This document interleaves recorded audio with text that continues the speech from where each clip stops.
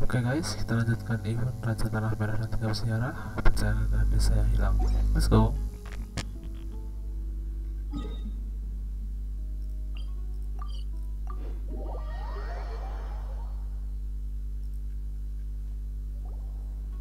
Right.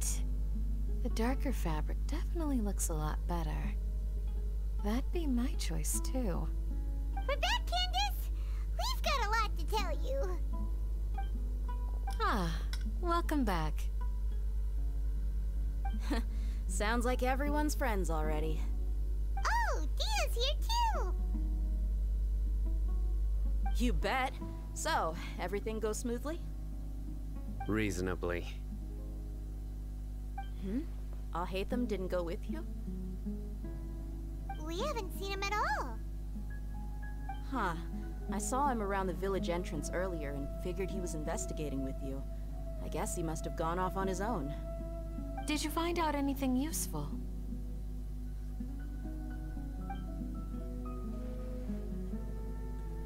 I see. So someone used a kind of incense to lead the exiled scholars away from the village.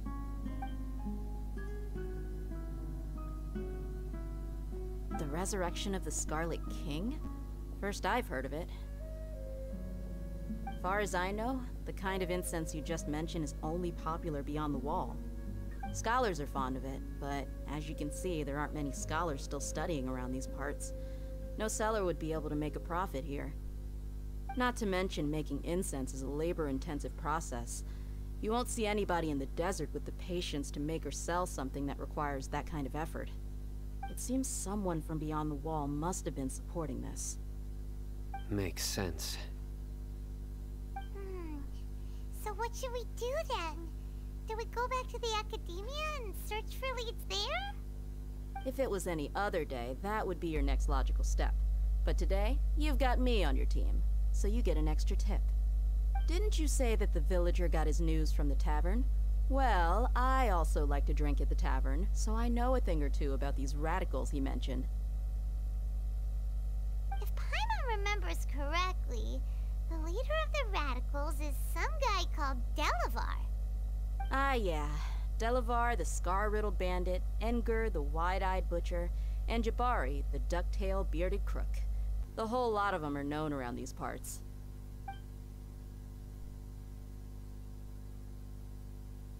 These guys have one thing in common, and that's being broke. The rougher life gets, the more they want to believe in the Scarlet King. Way they see it, the Scarlet King's resurrection is their only chance at overthrowing the Academia. Throwing all of Sumeru into chaos is the only way to change the way of life here in the desert. Anyway, that's my guess why they've chosen to become radicals. Dehya, you're amazing! You really know this place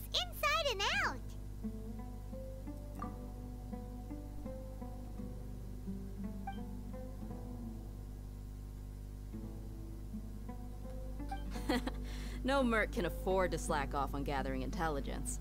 Every Mora I've spent in the tavern has been a valuable investment. Let's head out. Now hold on, you're staying right here, Cyno. Why? Aaru Village is not a big place. Outsiders stand out here like a sore thumb. I'd bet word about you has already gotten out. The desert is unforgiving, so the way of life here is also a lot tougher than on the outside of the wall. You survive on making connections out here. Compared to you, mercs like me are just third-rate amateurs. I've got no actual fighting skills to speak of. But that also makes it a whole lot easier for me to gain the locals' trust.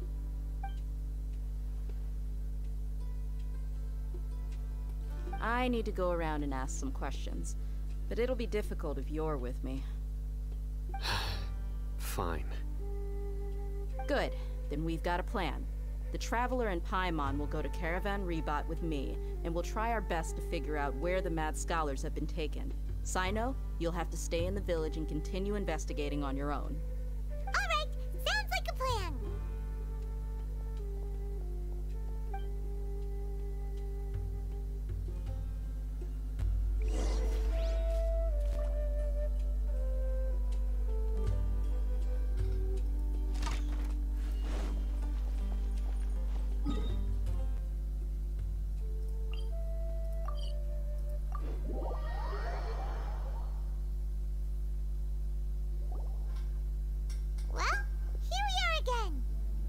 Sounds like you're starting to get familiar with the area. Paimon's amazed every time we see the wall of Samiel. How can a wall this tall even exist? It's almost unreal. I know what you mean. I had the same question every time I walked this way when I was a kid. Also, why is this high wall here? And can a wall really block sandstorms?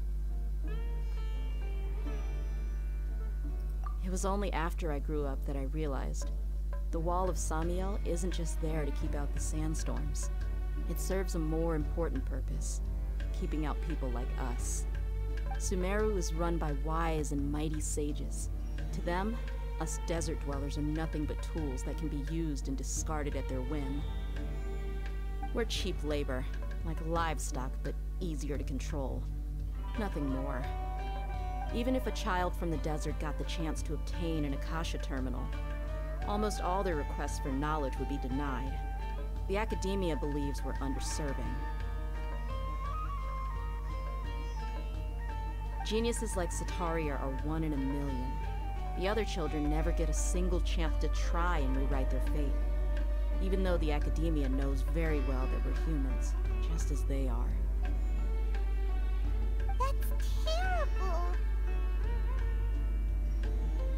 I would tear down this wall with my own hands if I could.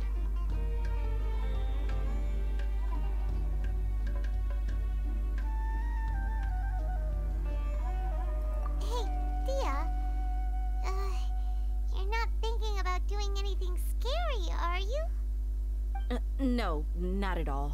This place just gets me thinking, that's all. Besides, we're here to procure information, aren't we? Yep, we gotta catch those.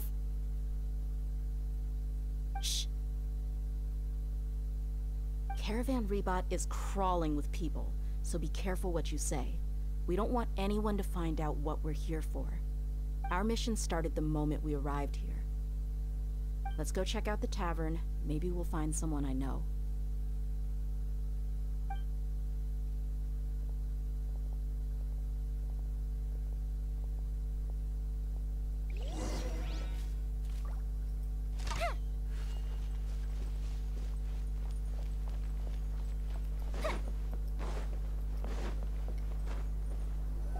Just our luck. None of them are here today. You mean you don't see anyone you know? Dehya, is that you? what a coincidence. You here for a drink too? Hmm? Zaki. Finally, a friendly face. Oh, and who do you have with you here? Guests from another land?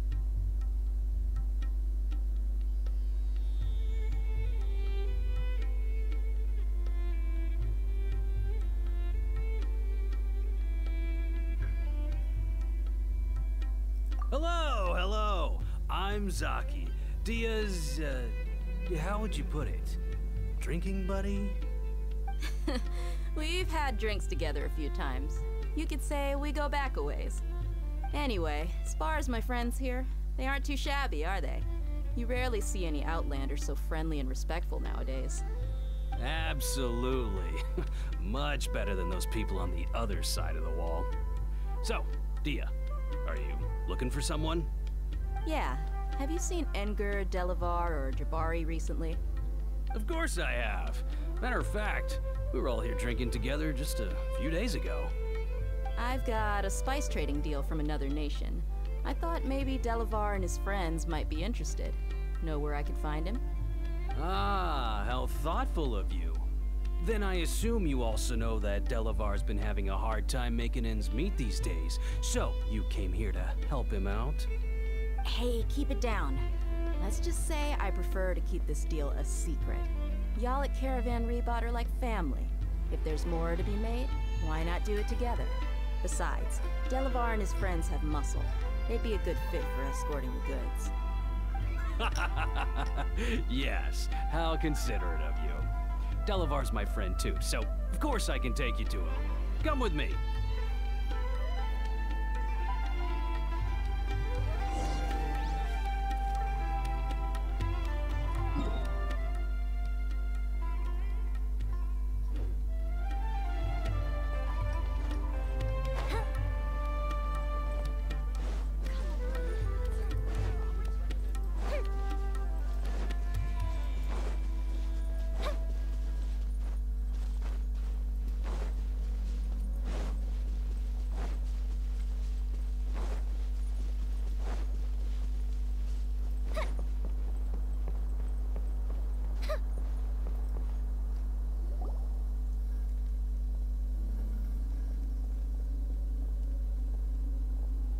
We there yet?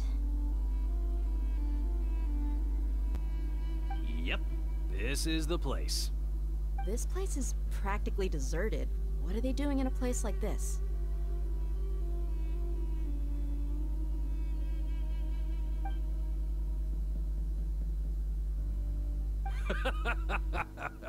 Why don't you take a guess?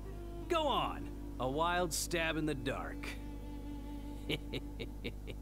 You're like lambs to the slaughter. Oh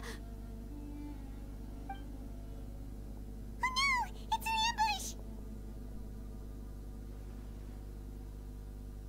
Ah, What's this all about, Zaki? Come on, Dehya. You really think we didn't hear about what you said back in Aaru village? The boys have kept a close eye on you from the moment you set foot there. Not only do I know that you're looking for Delavar, I also know that you've teamed up with people from the Academia to look for the missing scholars. So, you've been watching us from the very beginning? Uh-oh. Paimon knew leaving Cyno behind was a mistake! And you left the strongest one in the village, didn't you? Who do you think you are? You really thought we'd fall for your little business deal nonsense? So you and Delavar have been partners all along. Dehya, I guess it's only natural for a traveling mercenary like you to be out of the loop. Those of us who hang around the tavern have stronger bonds than you think. But you got one thing right. We're all looking forward to an uprising in Sumeru.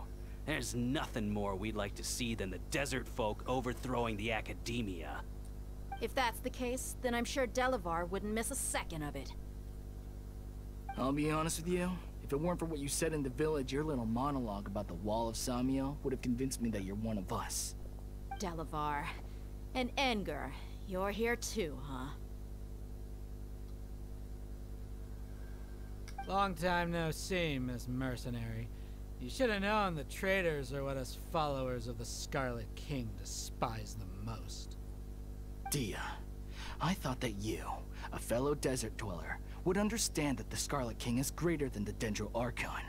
Little did I know, you don't deserve to join us. Yeah, gee, what a missed opportunity.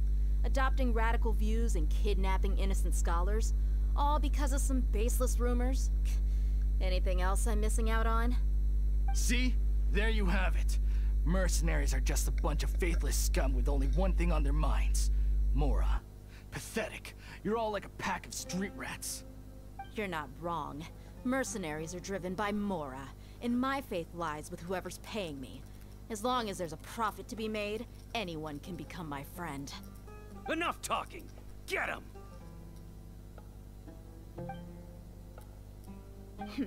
Just as I expected. Let's teach him a lesson, traveler.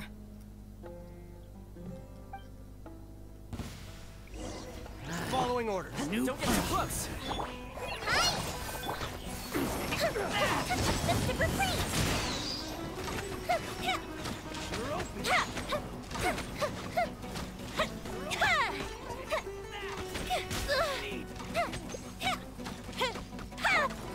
Check this out. Take that.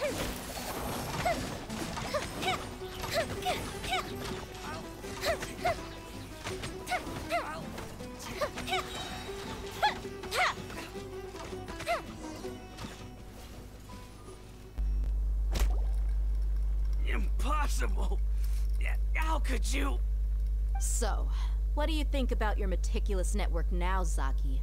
How did you say it? It's only natural for a traveling mercenary like me to be out of the loop. I'm guessing your informant told you that I'm just an incompetent merc with no real fighting skills, correct? I mean, that is what I said after all. And of course, you would believe everything he reported. The only thing you know about me is that I'm a mercenary, but you've never seen me in action. Even though you heard we went to handle monsters together, you believed that Candace was the only one doing all the real fighting. That so-called Flame Mane is just a fraud. She admitted it herself. She just uses her connections to gain the trust of others. That's what you thought, right? Ugh. You lied in the village because you figured that we'd have people watching you. And you were stupid enough to fall for it. I figured as much the first time we drank together. You all thought you were so smart. Pathetic. Okay, that should be all of them. Whoa! So you've been planning this since we were in Aaru Village? No task can be done without preparation. I just happened to notice a couple suspicious looking people while you were out investigating. Oh, but instead of catching them right away, you let them report back. Those two who were snooping around were just a couple small fries. If we want to get the real catch, we have to be patient and give it some time.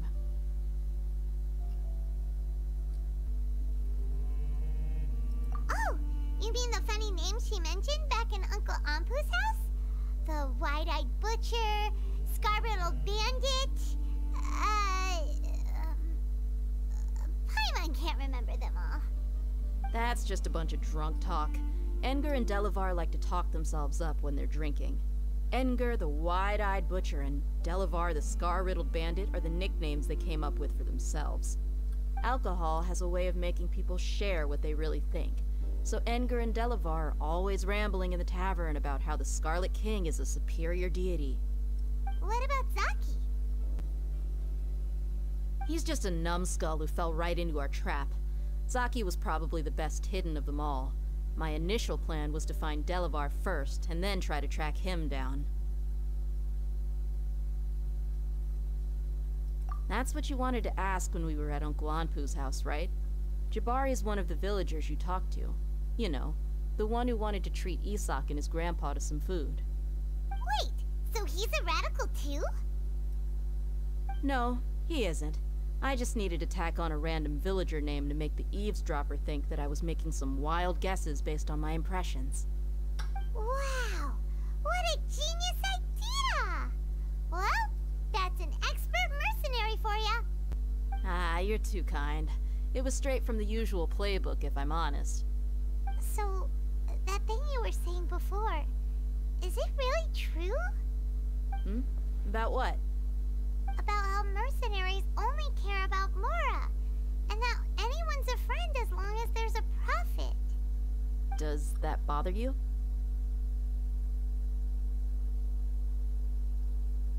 What makes you so sure?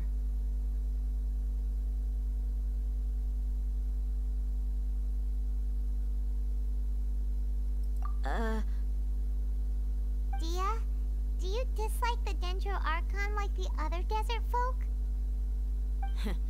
You two are pretty sharp. No, I don't have anything against the Dendro Archon. I've heard a lot of nice things about the Lesser Lord from Dunyarzad. I can understand her devotion and gratitude. Dunyarzad's just an ordinary person. There's no way a god would be so involved in the lives of everyday people, unless they were truly compassionate. I've begun to realize that the sages are behind everything that's happened recently. The radicals' blind belief in the Scarlet King, making the Dendro Archon out to be an enemy. It's all the Academia's trickery. But I see through it all.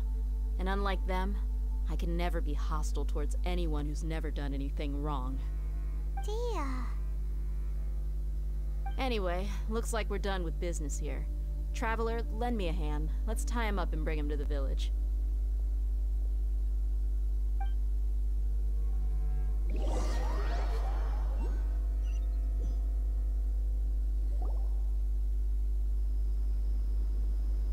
This should be all of them. I'll let you take it from here. All right. I'll be in touch. Until then, please stand by. Candace, do you need any help? Candace will be okay on her own. I trust her, so you can too. She's been guarding Aaru village for quite some time now. If anyone is qualified to question the offenders, it's her. While I'm questioning them, why don't you pass some time by exploring the area? I'll meet you back here tomorrow morning, Traveler.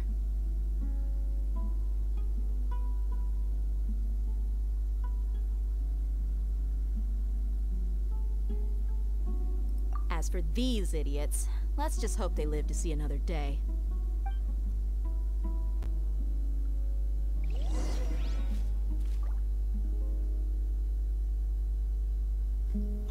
Ah suruh nunggu sampai besok. Oke lah kita lanjutkan di video selanjutnya. Oke see you and thank you and bye bye